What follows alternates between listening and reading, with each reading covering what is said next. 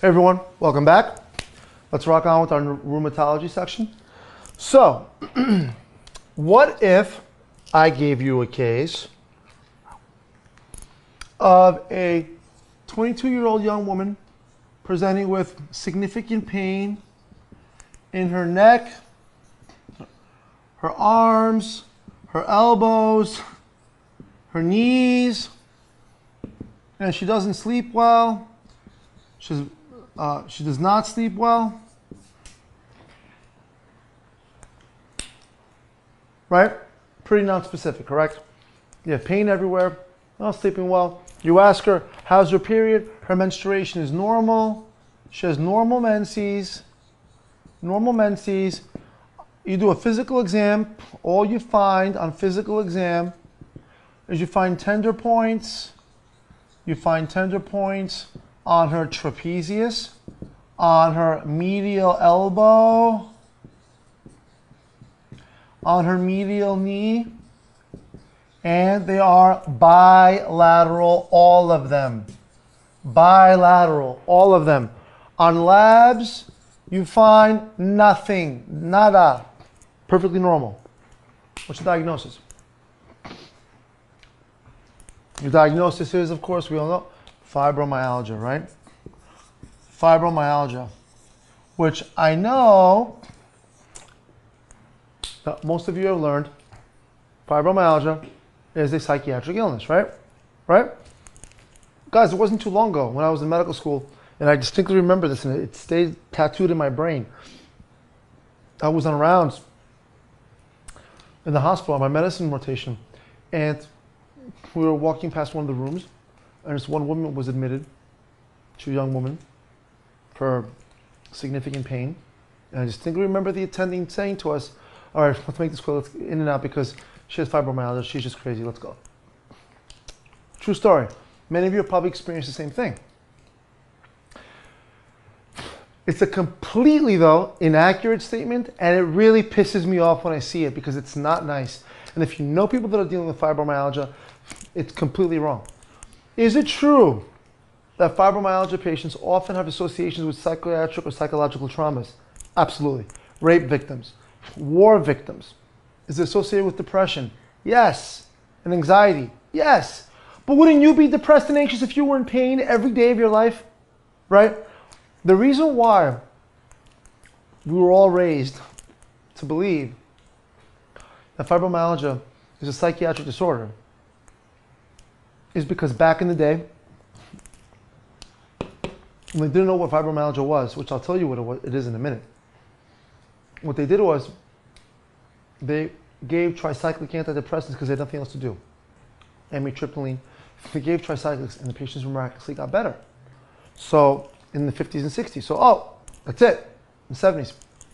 If someone gets better on amitriptyline, that means it's got to be depression. No S.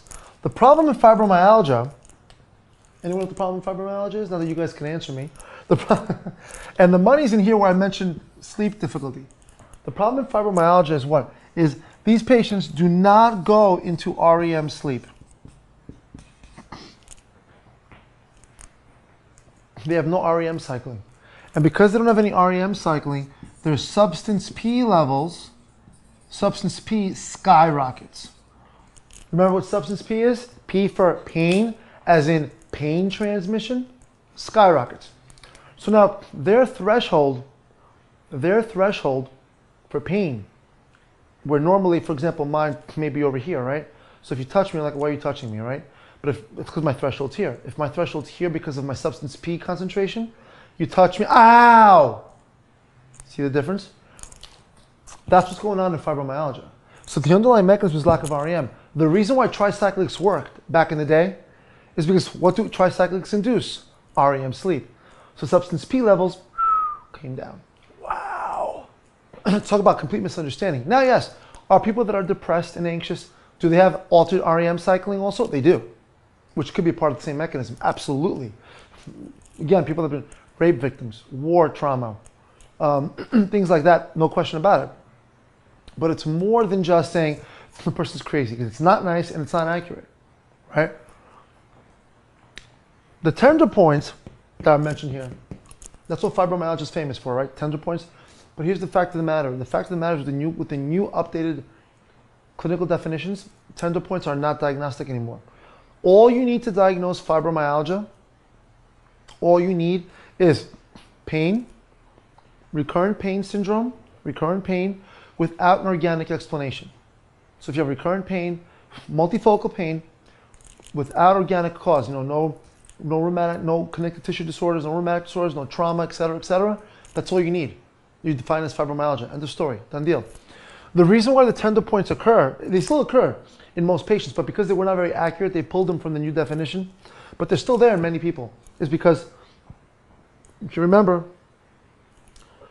look at where the tender points are. Trap, medial elbow, medial knee. These are tendon insertion sites. And so therefore, the tendon insertion sites, if you remember, tendons and some have something called the Golgi tendon apparatus, which is a sensor for the spine. But because the substance P levels are high and the transmission, the transmission threshold so low, the slightest tug on those tendons causes pain. Where normally, for me to move my arms up and down, I'm pulling on tendons, but my, my threshold is much higher, so I don't feel pain. I just feel motion. But these people, because their threshold is so low, they feel pain. See the difference? Wow, right? Everyone thinks fibromyalgia is easy. It's not, it's not that simple. Now, how do we treat it? Well, one of the best treatments for fibromyalgia is actually exercise. Exercise and stretch, and specifically stretch exercising. Yoga is phenomenal for fibromyalgia. Yoga, certain, certain martial arts, but any kind of exercise and stretching can, can help fibromyalgia dramatically, and I have a lot of patients with it that have gotten much better. Why? Well, the stretching exercises um, mobilizes and alters the tendon, the tendon receptors, big time. Also, exercise, this has been shown, people that exercise regularly have better REM cycling than those that do not. That's a fact. And for those of you that work out, you know the days you work out, you always sleep better than the days you don't. It's a fact. So exercise, stretch exercising is a big deal, helps them a lot. Medically, what could we use? Well, I mentioned tricyclics. You could use tricyclics, but now we have better agents that we could use. You could use the GABA agents. You could use the GABA drugs, meaning gabapentin and pregabalin. You could use gabapentin and pregabalin, which alters neurologic transmission. But these days, the drugs of choice are the dual reuptake inhibitors. The dual, the norepinephrine, the norepinephrine, the NSRIs, and the serotonin, the dual reuptake inhibitors, the NSRIs, duloxetine, and or venlafaxine. These are the drugs of choice nowadays because they alter transmission yet increase yet improving REM cycling. Both. Could you use SSRIs? You could. Paroxetine, all those guys too. You could use those as well. Uh, but uh, it looks like the data shows the dual reuptake inhibitors are a little better as far as combining both neuro, uh, neurochemical transmission and the REM cycling. All right? So that's fibromyalgia, guys. Again, a little more involved than, than people thought. Now, what if I gave you, or what if I gave you a situation of a 45 year old woman who is a secretary? I can't spell. She's a secretary.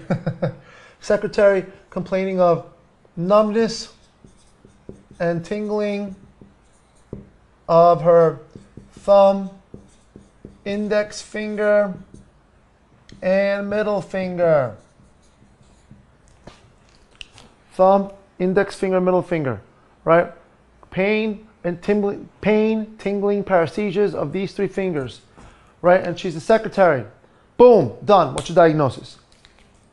This is carpal tunnel, right? Diagnosis here is carpal tunnel syndrome. It's exactly how it presents.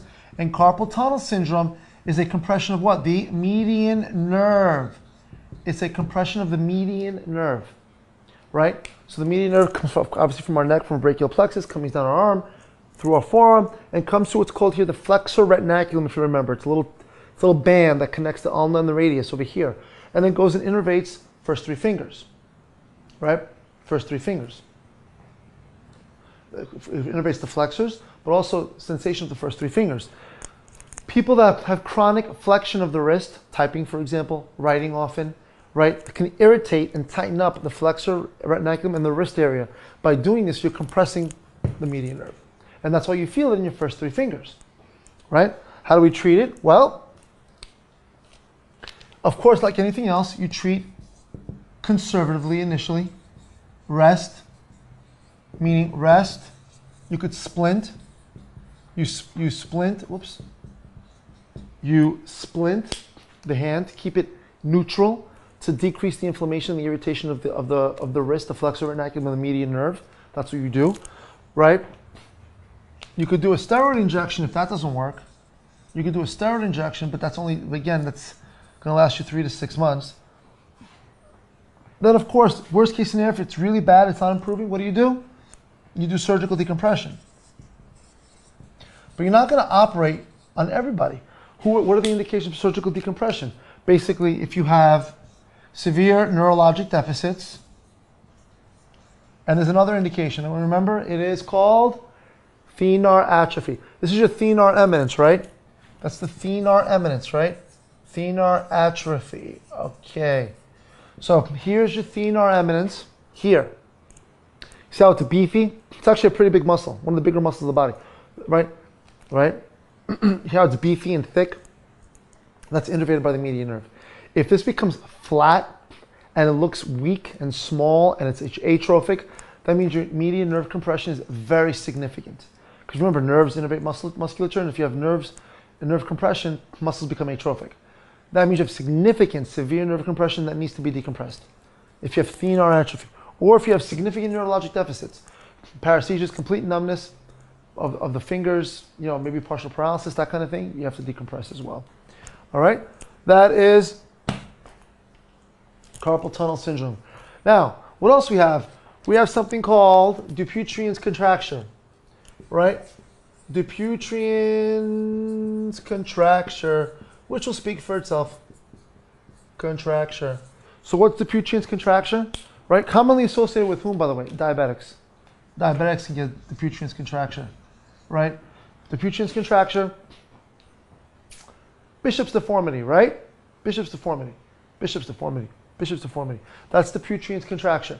It's also a fascia, it's also a fascial irritation. It's a fascial issue. The Dupuytren contracture is not a neurologic problem. It's a fascial problem. Fascia. The, fa- the fascia. It's a fascial issue. Fa- fa- it's facial irritation. Irritate my face. Facial irritation of the fascia. How do you treat it? Again, like anything else, you start conservative. Rest. You could try splinting. If the contraction is very significant, I've seen it where like fingers are like this, you know, then you need steroid injections. So you, of course, like anything else, guys, the order is almost always the same for these types of things, right? It's conservative initially, right? then you go to steroid injections, and if they're still contracted, surgical decompression of the fascia. They actually cut the bands. There's 500 bands, and they actually cut them. They cut the bands. That's what they do. All right, that's the Dupuytren's contraction. All right, ladies and gents. Rock on. See you soon for the next section.